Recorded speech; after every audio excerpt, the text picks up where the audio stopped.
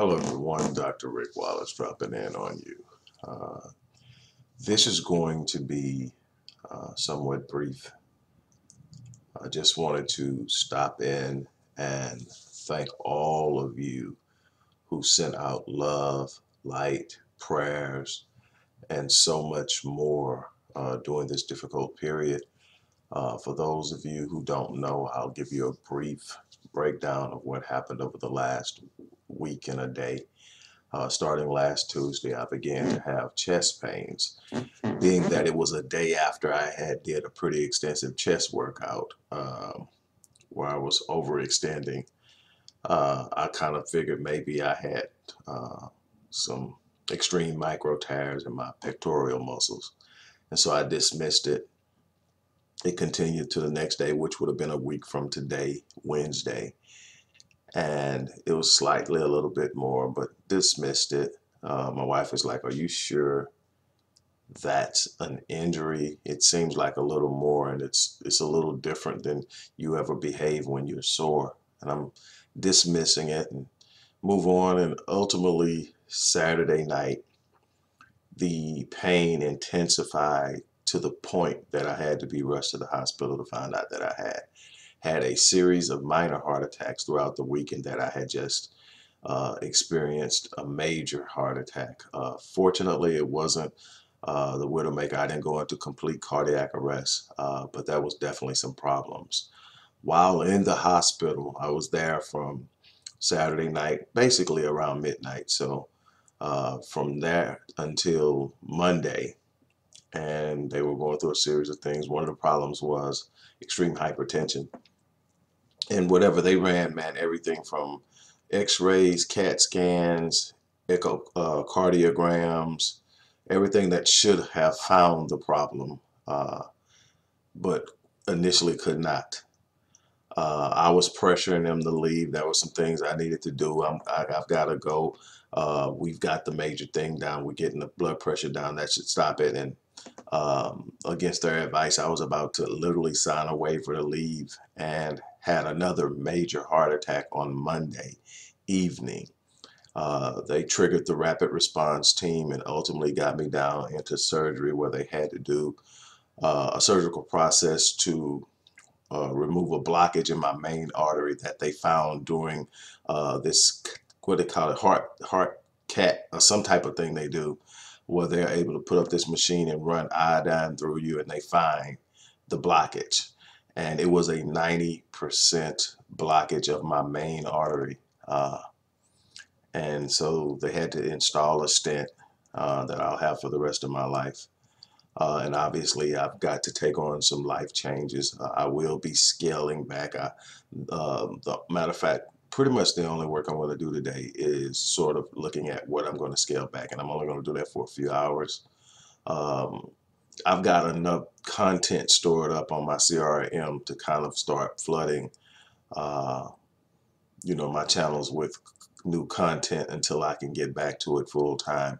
Uh, there will be some things that I won't be able to do just simply understanding that I've definitely pushed myself too much. And don't get me wrong, all of, all of this isn't because I overwork myself, which I definitely do, and I take on a high level of stress. And to everyone out there, let me share this with you. Because you have developed a capacity to manage stress doesn't mean that stress does not exist and that it will not have an impact on you mentally, emotionally, and physically. And I think that we really have to start understanding that, yes, it's good to be able to manage stress. It's better than not being able to. But sometimes you got to let stressful situations go. And that's something that I learned when you're sitting there literally and knowing you're having a heart attack. Um, and knowing that there's no guarantee at this point that you have any control on whether you survive except for your will to live that it's all in the hands of, of something greater. You think. And my thoughts didn't go on to what would happen to me. I've never been afraid to die uh, because I believe uh, I will live on. Uh, in what form or what way, I, I, I don't know. But I know that, you know, energy doesn't, energy is never destroyed. So I'm sitting there and I'm looking at my wife and I'm going, I can't leave her. I'm not finished doing what I need to do for her and my kids. I'm still doing some things and I have some unfinished business that I want to attend to. And um, when I got that second chance, you know, it really, really resonated with me that I have to take care of me to be able to do anything else. Someone that I spoke with during this period uh, told, and this is before the second, I mean, well, the second major heart attack, because there was a series of smaller, uh, what they call mini heart attacks that happened up until Saturday. And before the second one, I talked to someone who uh, I'm working with in Chicago to get Black Man uh, lead up there. I got a couple of people I'm working with, and and she told me something that made a whole lot of sense. You're at a point now to where you're maxed out. You're going to have to learn how to replicate yourself. And what she meant by that is I need to train people and teach people what I do. Uh, people with the same passion, people with the same yearning. I need to open up myself and train more people and let them do a lot of what I'm trying to do on my own. And that's going to be something that'll be a part of the process. There are going to be a lot of things that are on the deck that simply produce nothing but stress. While they have good intentions, uh, they take up time and they produce stress. And I'm going to have to set them down. Maybe I can find some other people who have the energy and the time, but I can only do so much. Uh, and my goal is to be here uh, for my family for years to come. Um, you know, for all of you who sent so much love uh, from all of the different places. You know, I had people stop by my hotel, I mean, my, my hospital room, um, you know, to uh, Bishop Victor Anderson, his lovely wife, Erica uh, Anderson, uh, who just happened to be in town visiting. Uh, to come by and share and sit down and literally talk and pray with me was uh, important to my sisters that stopped by everyone else who checked on me. Uh, I want to thank you guys, those who called and sent all kind of text messages. I mean, I got so much love that really showed me that people were aware of the impact that I was trying to make on the world and that I had in many ways touched the lives of other people.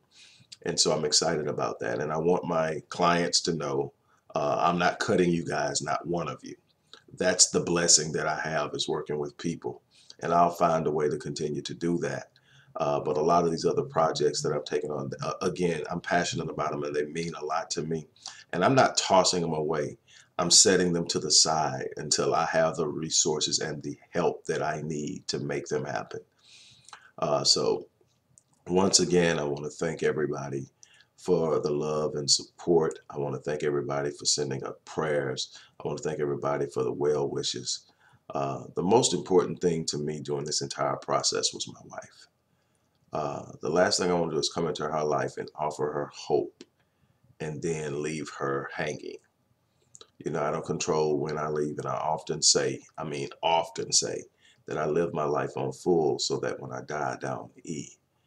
Um, I still want to live my life that way because I don't want to leave anything on this earth undone that I could have done.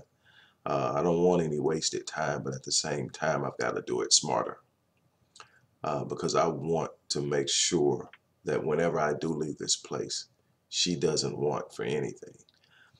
And there's so much that has been done, but there's so much left to be done. And I just wanted to stop in and talk with you guys who have loved on me in many ways for years.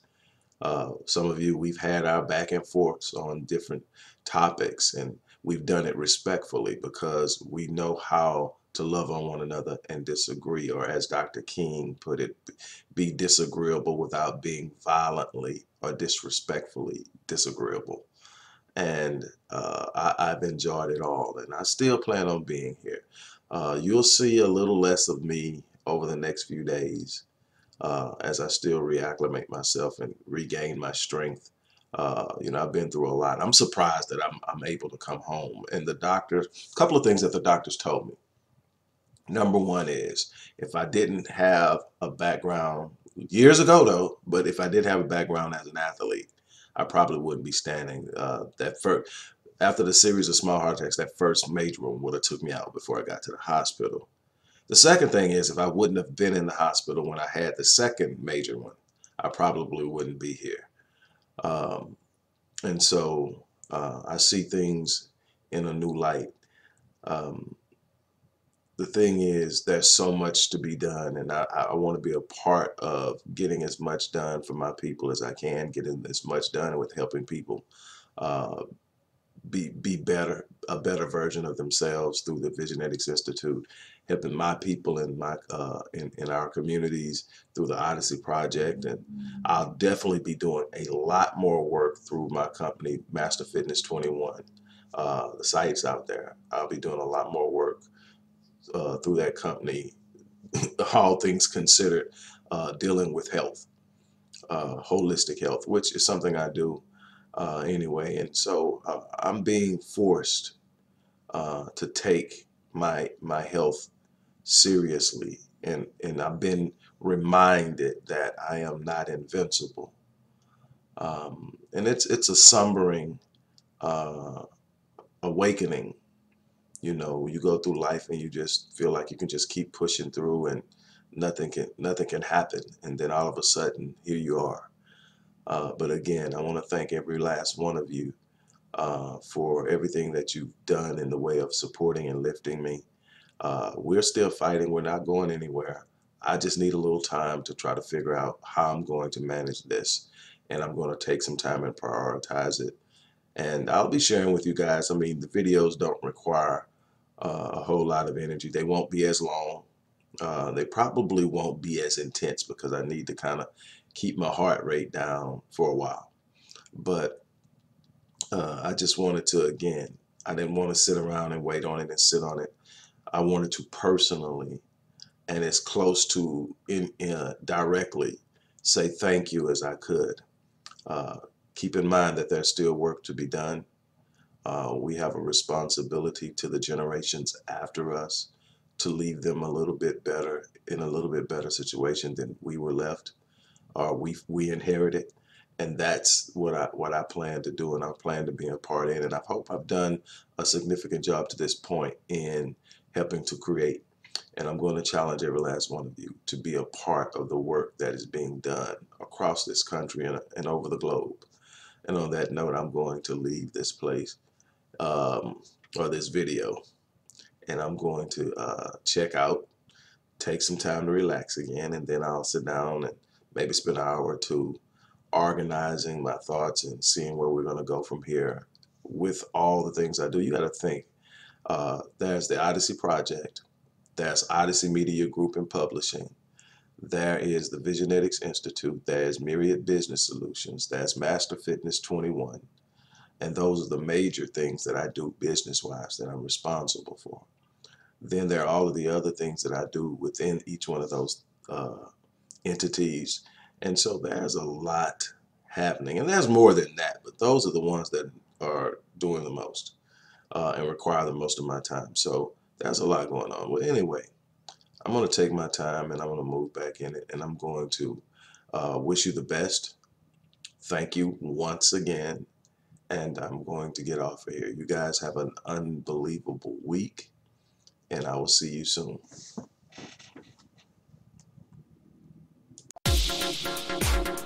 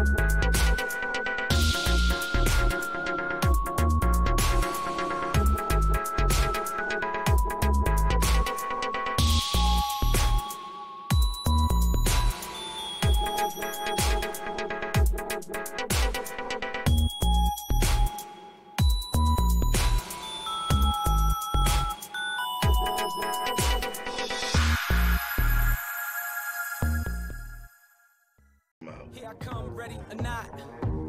Frank Ocean made this record hot. From conceptuals, respect, things people talk Real about talk, I ain't throwing shots. Careful who you